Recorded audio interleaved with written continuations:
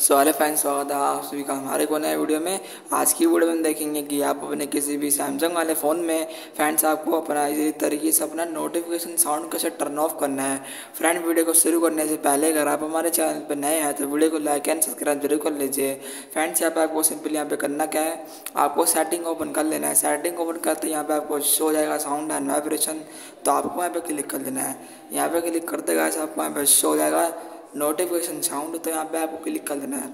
यहाँ पे क्लिक कर देगा, देखिए मैंने एट बीट पाउंस पे यहाँ पे सिलेक्ट कर रखा है। तो फ्रेंड्स आपको सिंपली टर्न ऑफ़ कैसे करना है, अपना नोटिफिकेशन साउंड सिंपली आपको यहाँ पे दिख रहा होगा साइलेंट वाला ऑप्शन तो आपको यहाँ पे क्लिक कर लेना है। और फ्रेंड्स यहाँ पे क्लिक करते हैं। यहाँ पे देखिए आपका नोटिफिकेशन साउंड अब साइलेंट हो चुका मतलब टर्न ऑफ़ हो चुका है। तो फ्रेंड्स इस तरीके से आप अपने किसी भी सैमसंग वाले फ़ोन में अपना नोटिफिकेशन साउंड टर्न ऑफ़ कर सकते हैं मतलब बंद कर सकते हैं। तो फ्रेंड्स मैं मिलता हूँ नेक्स्ट वीडियो में, तब तक के लिए good bye and thanks for watching my video bye bye guys